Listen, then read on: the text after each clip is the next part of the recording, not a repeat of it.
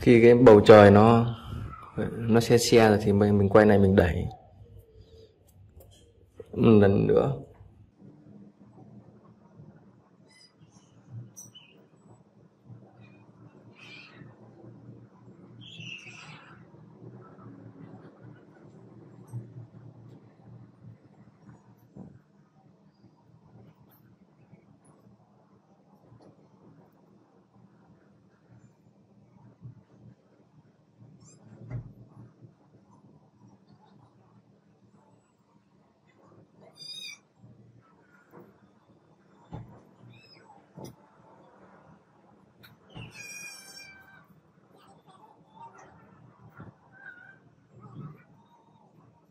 Đấy, và đẩy à, bắt sáng cái cái cái khối mây ở xa xa.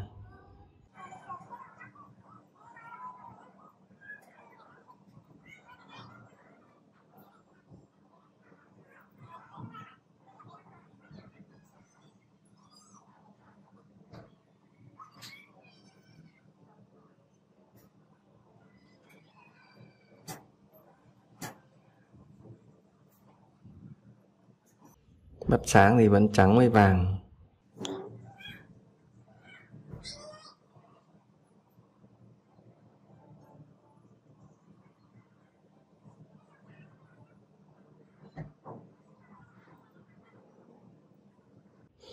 Ở xa thì nó sẽ cộng thêm xanh nữa, cho nó nhẹ.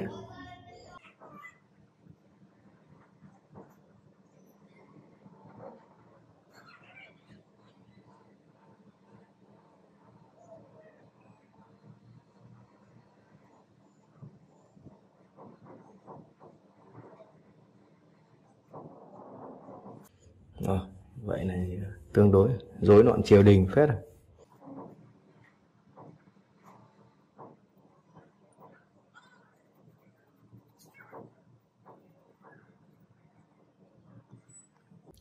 tục xử lý phần mặt nước ở dưới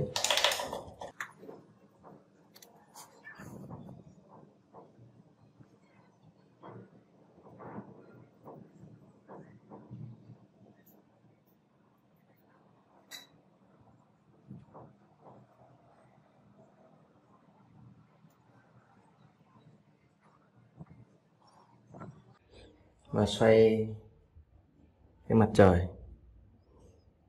Nên nó tròn.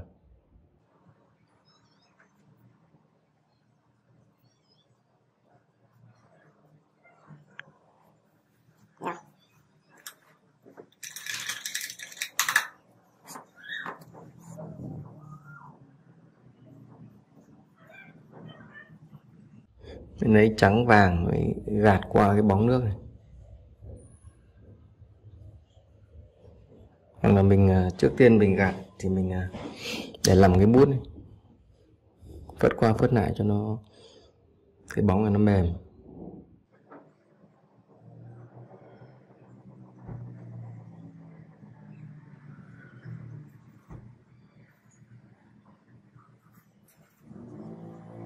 Nó mềm nó chìm vào trong một nước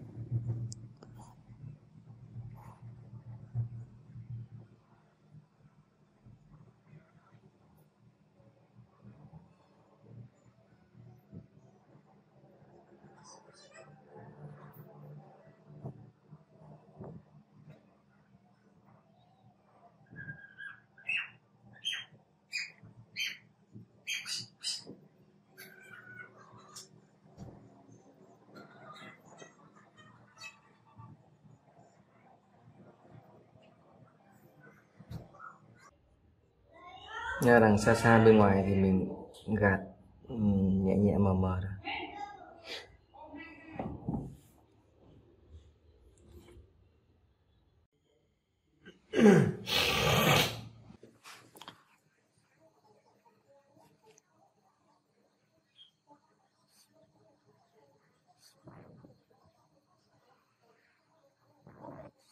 Nên là vẽ các cái kiểu viên gạch, nhưng mà, gọi là đại khái thôi.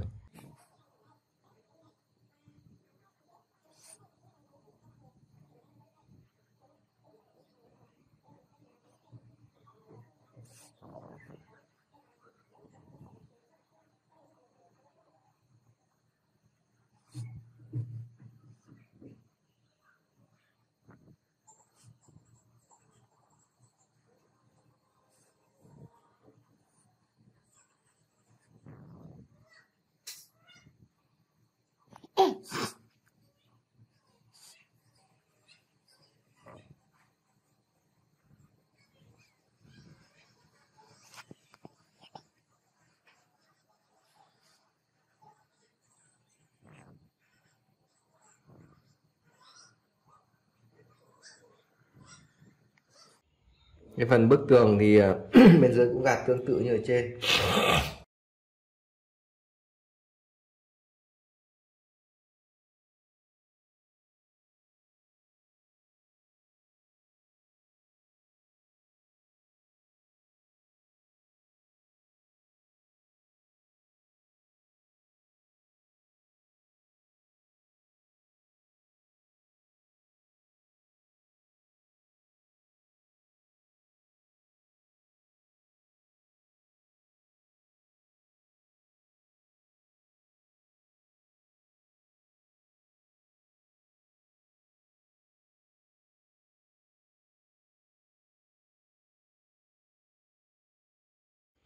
Cho nên một cái bút à, nó có cái đầu nó mỏng nha.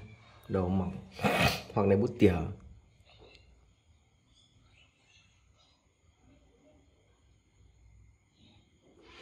Đi cái cạnh.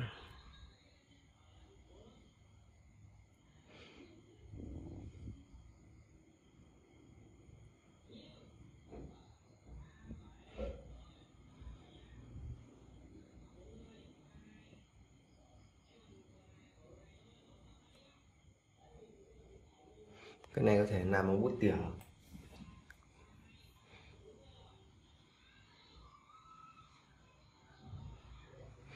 ở bên này nó có cái ống khói này.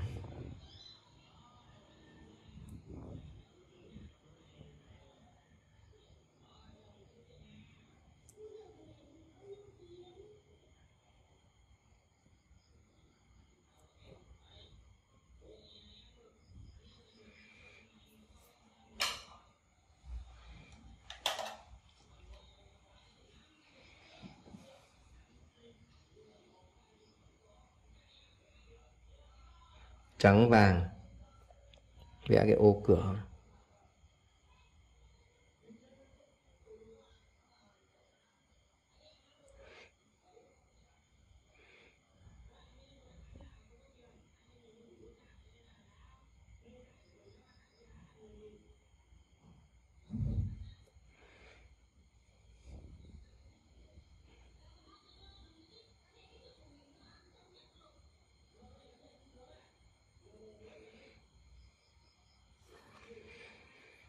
Đây là ngôi nhà bên này cũng sẽ vẽ tương tự nha. Mình sẽ loát nhanh chỗ này thôi.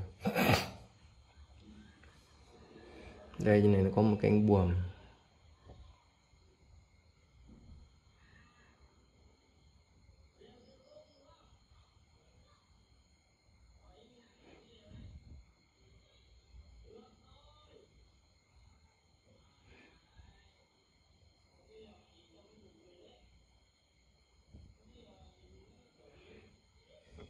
Biết buồm hay là cái gì nữa?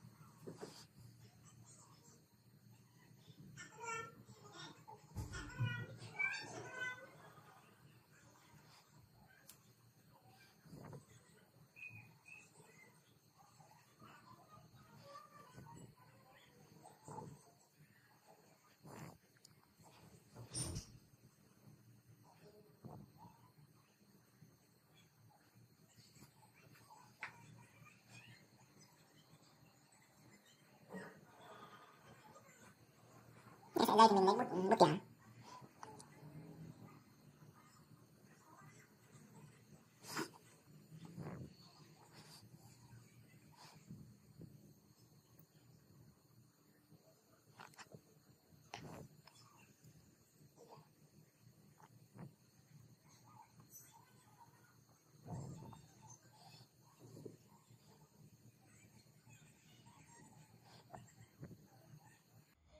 một vài cái ô cửa màu tối.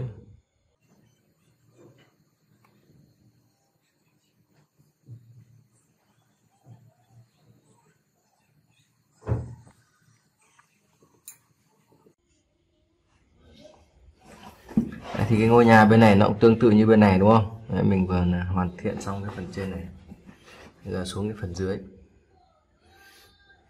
Bên dưới thì là đá này là bao gồm các cái màu xanh ghi này ghi xanh trắng này.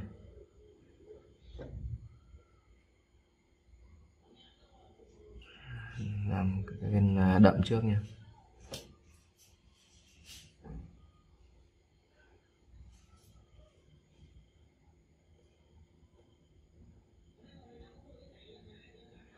Đá thì nó rất nhiều hình thù đúng không? Rất nhiều hình dạng. Tròn, vuông, lục giác, lục năng.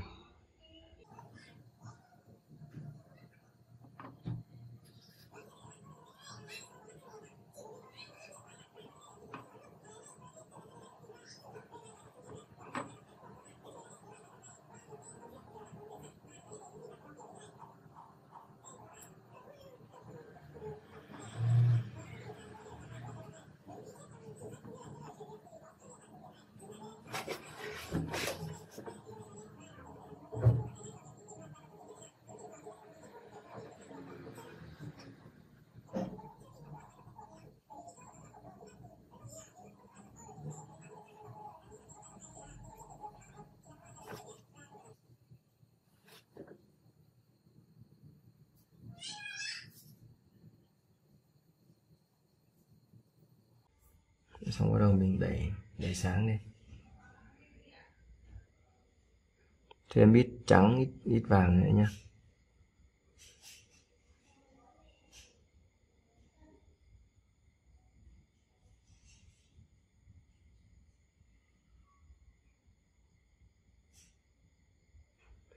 kích thước bức tranh này là 30 x 40 nhé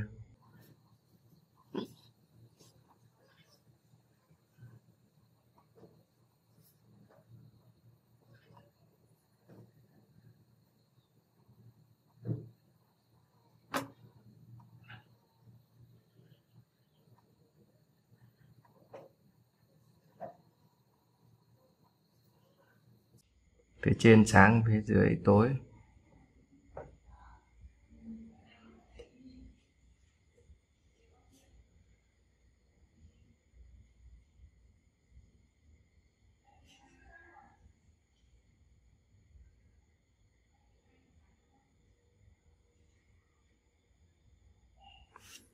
Xong rồi bút điểm đẩy thêm.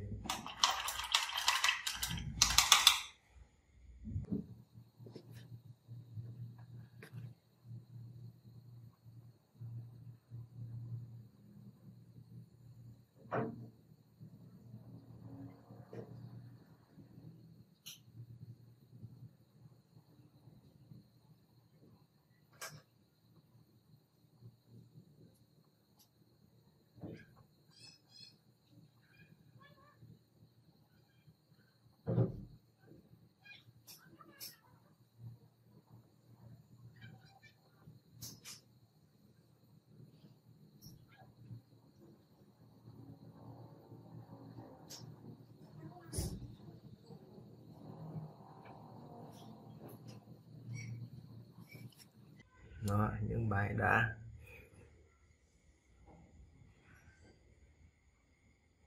Thì ờ, hòn to hòn bé thì chỗ sáng chỗ tối. Màu sắc nó sẽ khác nhau. À, sắc độ nó khác nhau. Thì bên kia mọi người cũng làm tương tự. Phía ngoài này trong một hai cục to này.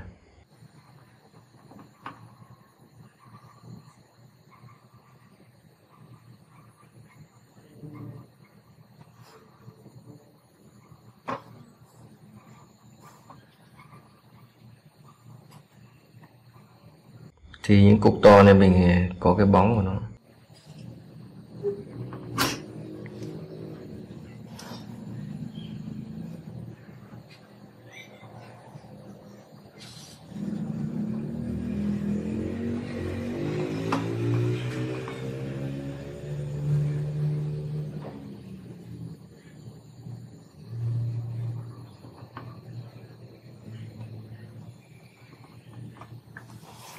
Xong đến cái phần bãi cỏ này.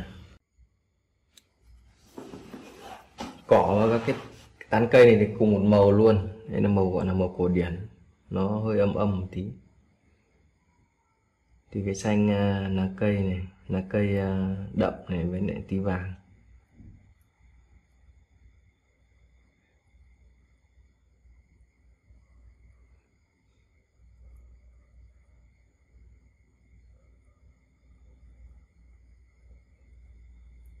Cái này thì chấm uh, nó cũng không cần tơi lắm nó bệt bệt thôi.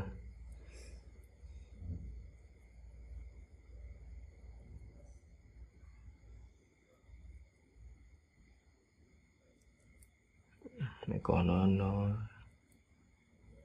hơi thuôn thuôn lên. Gần cái triển triển triển đồi này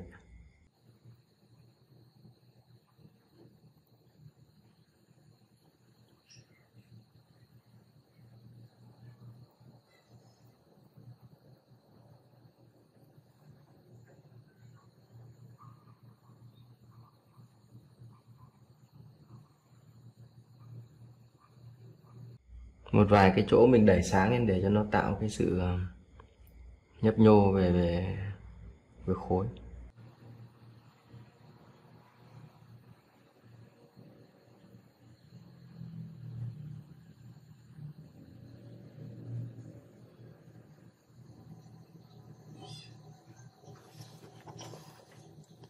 Còn cái chìa này thì nó sẽ là màu xanh. Cộng tím nâu này.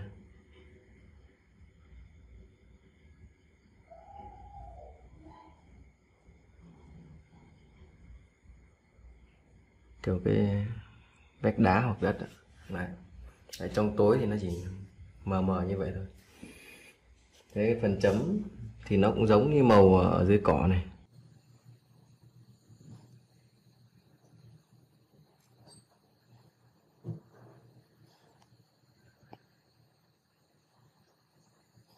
từng khối một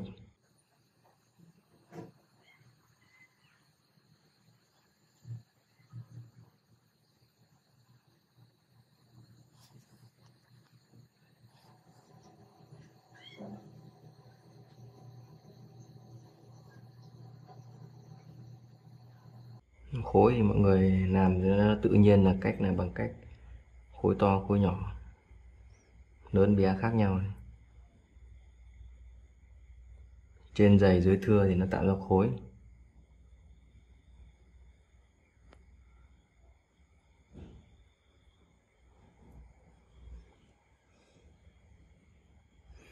Phía bên tối thì à, cộng thêm một ít cái màu xanh lạnh này.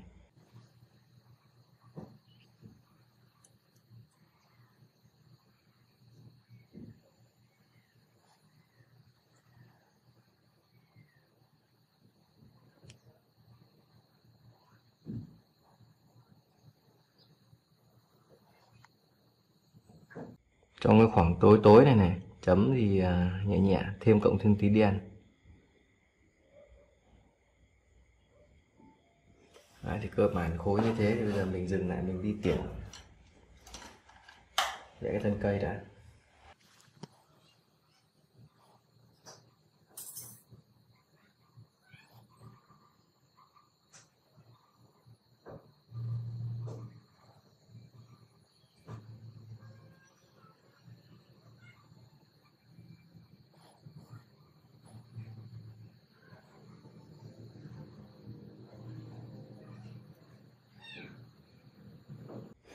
ừ, xong cái phần nhỏ hơn thì mình lấy bút tỉa.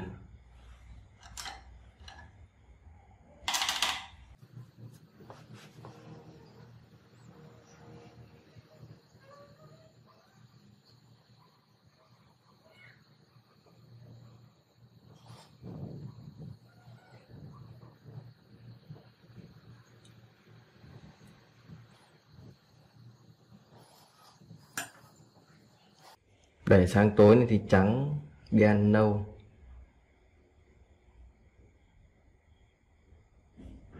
Trắng đen nâu. Nếu mà cần thiết là chống con tay vào như này.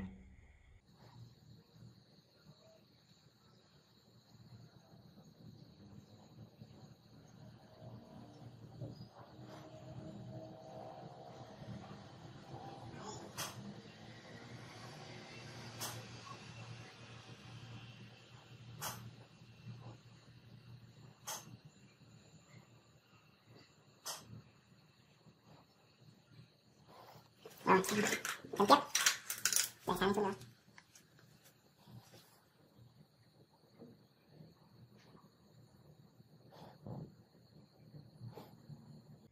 này thêm chút trắng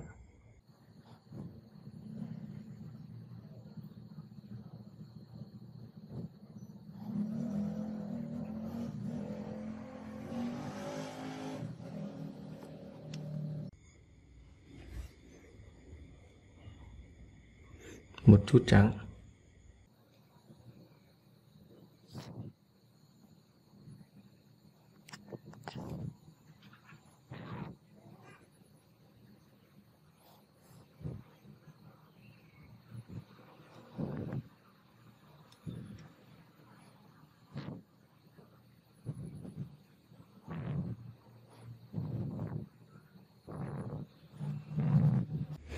Cái đầu bút nó càng tơi thì chấm nó càng càng đẹp nha.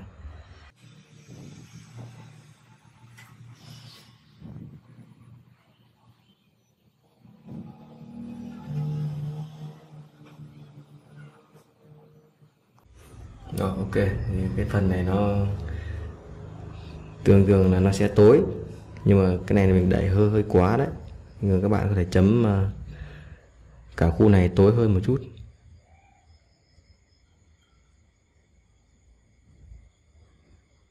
Để cho nó âm xuống ánh sáng tập trung bên kia.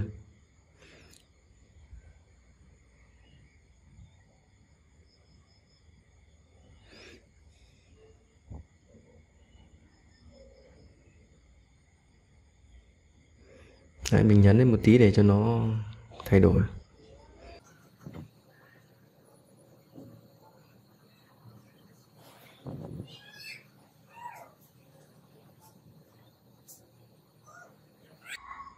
đấy thay đổi một chút không đều đều nhau sẽ đồng nghĩa bên dưới này cũng đẩy lên một chút này. Cho sắc độ nó chuyển xuống dưới này một chút này.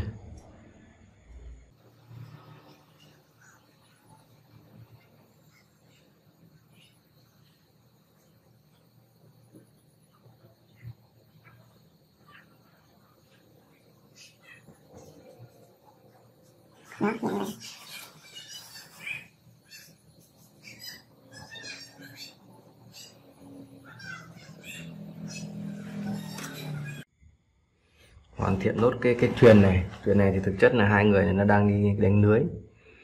Cái màu lưới nó quăng xuống thì nó sẽ có màu hơi xám xám này. Thêm mít xanh ghi này này.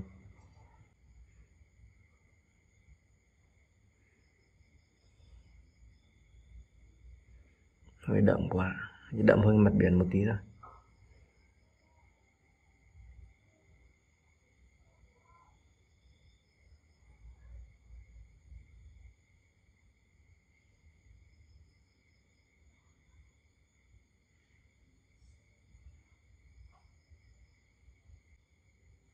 có bóng đổ đàng hoàng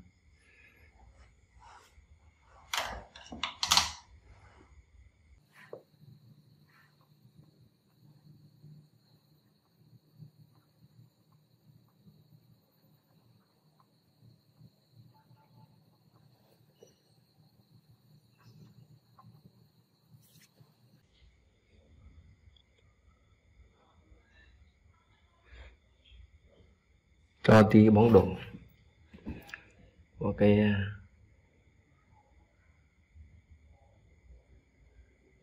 ô cửa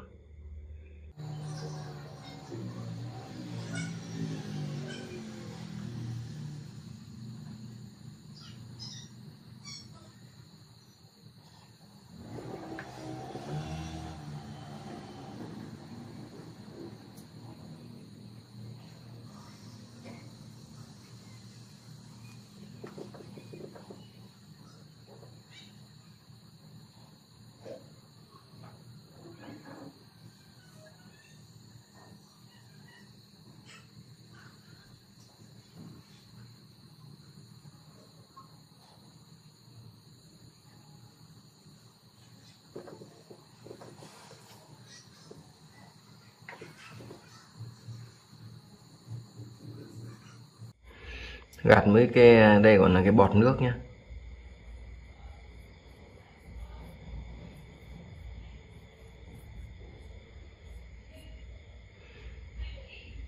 thì vàng, với lại ít cái xanh rêu cái trắng.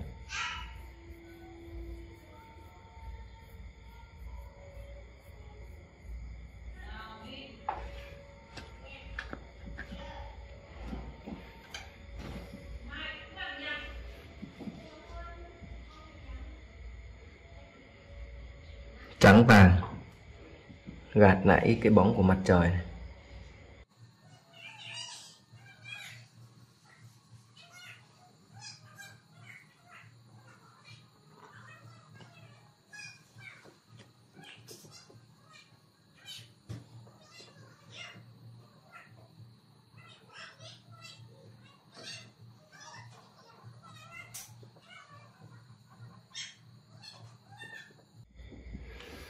rồi giờ thì thêm mấy con hải âu nữa là ok này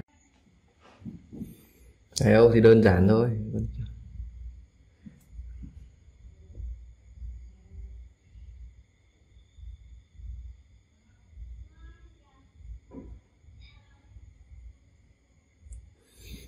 Đấy, cứ tỉa một loạt như thế.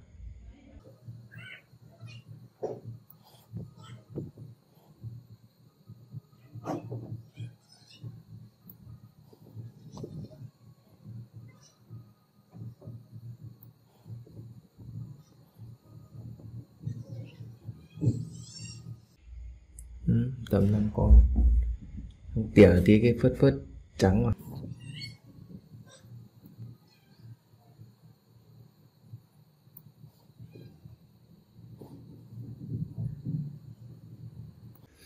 nếu mà vẽ gần to hơn thì mình phải tả nó kỹ hơn. Nói chung gần giống một bồ câu.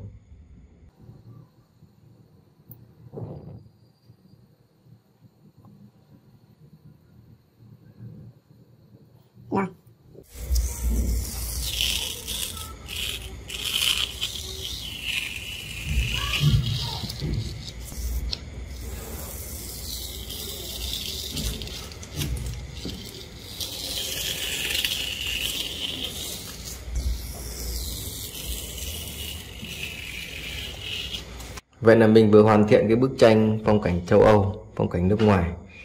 Nếu các bạn thấy hay và ý nghĩa phù hợp với cái phương pháp vẽ của mình thì à, đăng ký kênh để theo dõi những video sắp tới. Và nếu các bạn à, muốn mua màu à, chính hãng và hàng chuẩn theo những cái họa cụ mình đang hướng dẫn thì mọi người có thể đăng ký mua màu số điện thoại mình để trên màn hình để ủng hộ cho kênh Mỹ thuật Việt. Xin cảm ơn và hẹn gặp lại.